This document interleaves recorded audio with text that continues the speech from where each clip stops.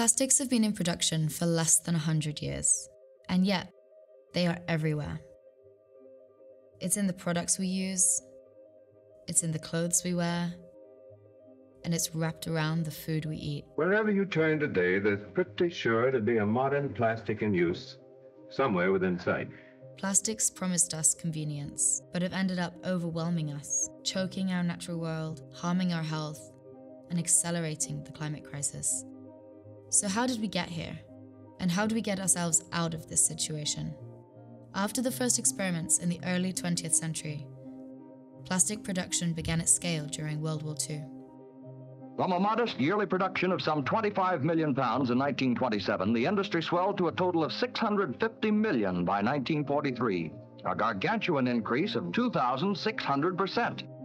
However, it wasn't until after the war, when industries began looking for alternative markets for their new materials and processes, the plastics really arrived in the lives of everyday consumers. Plastics take their rightful place in a world at peace a world dedicated to a richer, fuller life for all. Throughout the 1950s and 60s, this new wonder material was heavily promoted, promising convenience, cleanliness, and durability.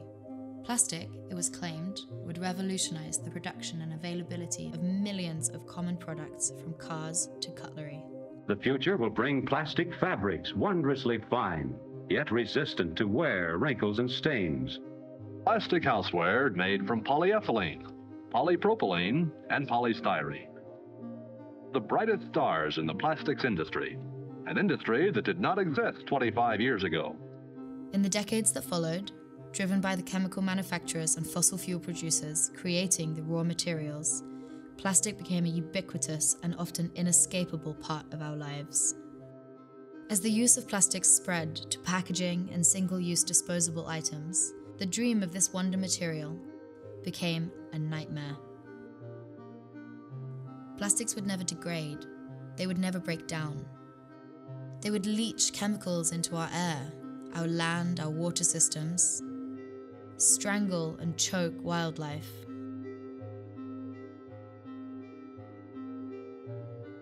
Plastics could never be thrown away and would instead be sent to countries without the infrastructure to properly process it. As waste plastic degraded into smaller and smaller microplastics, they would be found everywhere, from snow at the South Pole to the blood in our bodies. We realized too late. We were drowning in plastic. We are told that there is a way out of this crisis. We're told that we can recycle our way to a plastic free world. But this is a lie. The truth is that the fossil fuel industry is working hand in hand with big brands like Coca Cola, Nestle, PepsiCo, and Unilever to continue to push massive amounts of single use plastic into the world. Plastic pollutes throughout its entire life cycle. From the moment it is created, it impacts our environment, supports the fossil fuel industry, and accelerates the climate crisis. We need to turn off production. This is where the Global Plastic Treaty comes in. Greenpeace, together with our allies and supporters, is demanding a strong global plastics treaty that will limit plastic production and use and ultimately end single use plastic. We demand a treaty that will keep oil and gas in the ground, hold big polluters accountable for their excessive plastic production, build refill and reuse systems, and ensure a fair and equitable transition for affected workers. The Global Plastics Treaty has the potential to be one of the most significant environmental pacts in history, and together, we will make sure that it delivers on its promises.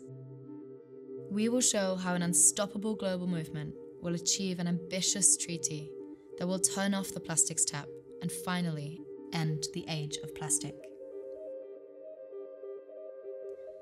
for our communities, for the climate, and for the planet.